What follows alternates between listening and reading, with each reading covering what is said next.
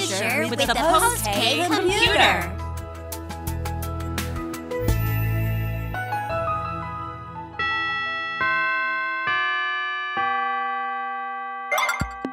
Hello, friends! Welcome to our special class. Today we will hear from Dr. Yutaka Ishikawa, the leader of a team that is building one of the world's most powerful computers. Let's listen and learn from his story.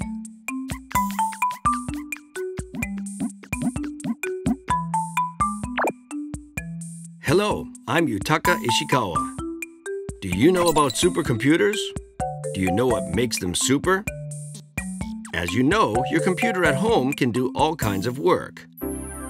Put simply, to calculate. Performing calculations is a computer's mission. There are computers that can calculate much faster than a home computer. They are called supercomputers.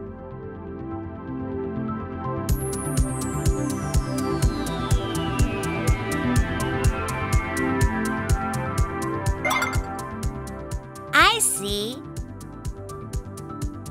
Does Japan have supercomputers? Yes, quite a few. One of the most powerful is located in Kobe City, in Hyogo Prefecture.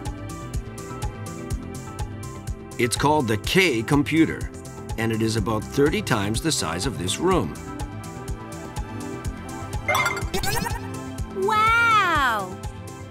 That's incredible! What does it calculate? Oh, it does calculations for many purposes. Let me give you one example. The K computer is used to calculate how the heart beats to help us understand how to fix heart diseases. This will be a great help for doctors. Can't we just feel how our hearts beat? Well, we can, but it's not possible to see it, how it beats with the naked eye, because it's inside our body. That's where supercomputers are needed. They can tell us how the heart is beating accurately. I really don't understand how you can calculate a heartbeat. The heart is a muscle that can be divided into many pieces. Each piece moves according to specific rules. These rules can be expressed in equations, number sentences, that use the same rules of addition and multiplication that you already understand. A heartbeat can be calculated using math? Correct. But the number of calculations needed is incredibly large. So we depend on the K computer. Great! So we can see the heart beating very clearly. Yes, now you understand K's power. But there's more. The fact is, Dr. Ishikawa is making an even more powerful supercomputer. Wow! Right. We're calling it the Post K computer. It will easily beat the K in the race for faster calculations. I expect it will allow us to do many great things.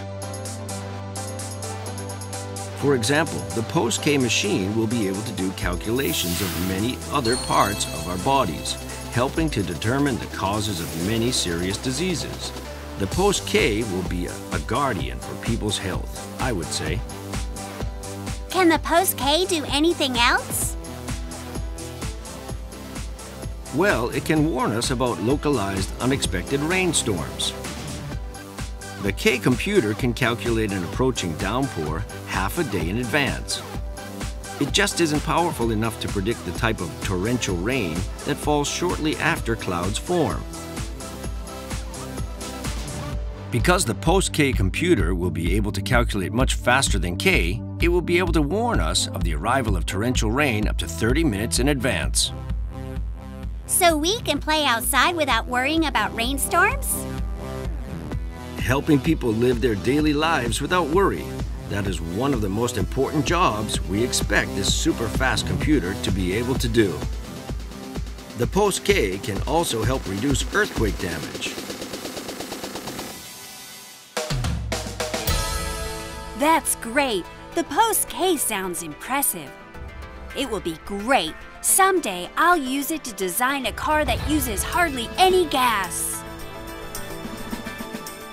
Of course, by all means. I want to use it to get new clues about the universe.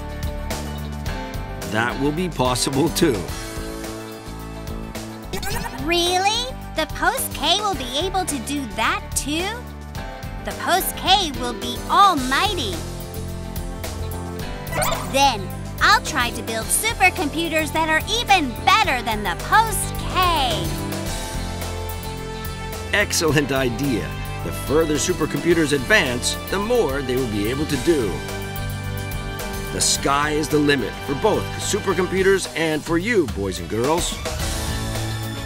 Keep on learning and take on a lot of challenges, just like the K and the Post K.